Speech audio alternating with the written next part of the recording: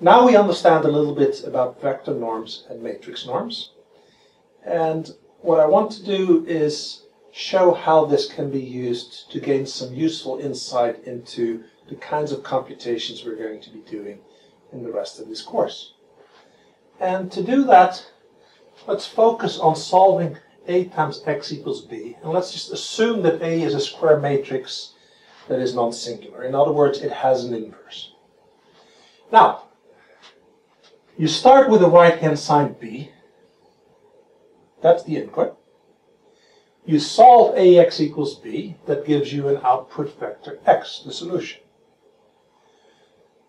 What if you'd make a small change to B? For example, what if how you measured the right-hand side B wasn't all that accurate? So you know that there's a little bit error in it. Or what if you started with a vector, you stored it in a computer, roundoff or error happens when you store it. A small error would occur. Obviously, what you would like is for there to be a small error in the solution as well. Small, well, we know how to measure small now. We use vector norms. But really, we are interested in relative error. We're really interested in the change in x relative to x that results uh, when you do these two computations. And you want to compare that to the relative error in B.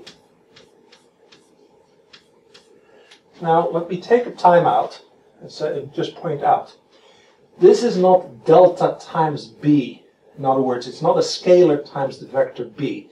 I'm purposely trying to make the delta and the b touch to indicate that this is just a label for the vector that represents the change in the vector b. So let's try to keep track of that. Sometimes they may not quite touch, but hopefully you can stick with me. Now what do we know? We know that a times x is equal to b. And we also know that a times x plus delta x is equal to b plus delta b. All right? We know that matrix vector multiplication distributes, so we can replace this by a times x plus a times delta x. Right? And then we can take the first equation, subtract it off the second equation, and say, oh, that leaves us with a times delta x is equal to delta b. So there's this nice relationship between the error that was introduced and the error in the solution.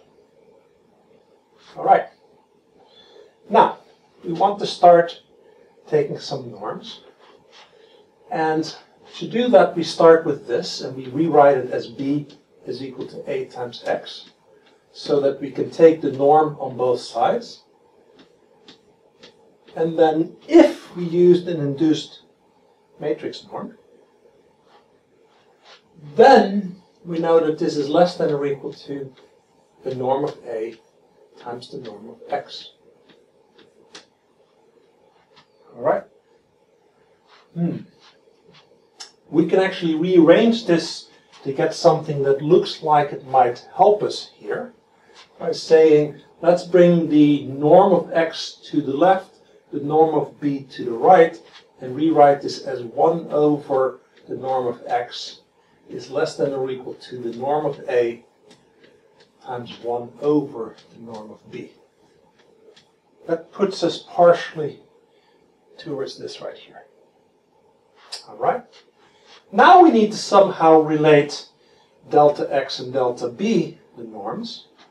And for that, we're actually going to rewrite a times delta x is equal to delta b as delta x is equal to A inverse times delta B. We can do that because we assumed that A was non-singular, and therefore we know it has an inverse matrix. Then we can take the norm of that, and we can bound that by the norm of A inverse times the norm of delta B. All right?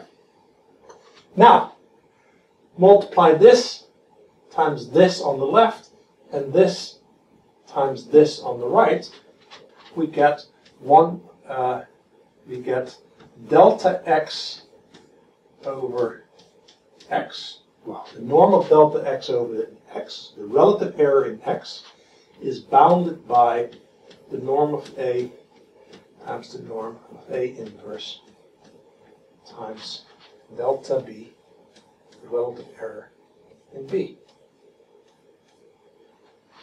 Right? So, we now have answered our question. The small error in B can be amplified no more than this quantity right here, which we call the condition number of matrix A. Obviously, this condition number depends on which norm you Now, when we talked about induced matrix norms, we saw that there is a vector x such that the norm of A times x is equal to the norm of A times the norm of x.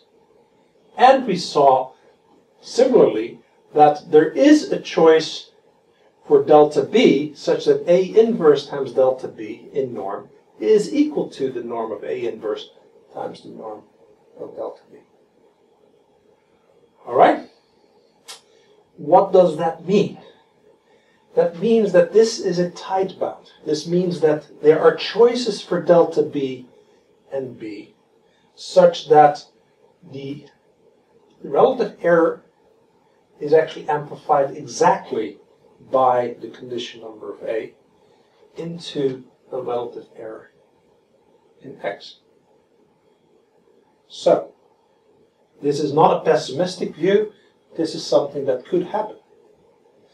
Later in the course, um, you're going to find out that the condition number of A depends on how close A is to being singular. So, all of these things will start falling in place as we move on through the course. Now, in the notes, we sharpen all of this. Okay, we develop the notation a little bit better. We dot all the I's. You will do a few exercises that will help you along, and then you'll hopefully understand everything regarding this topic.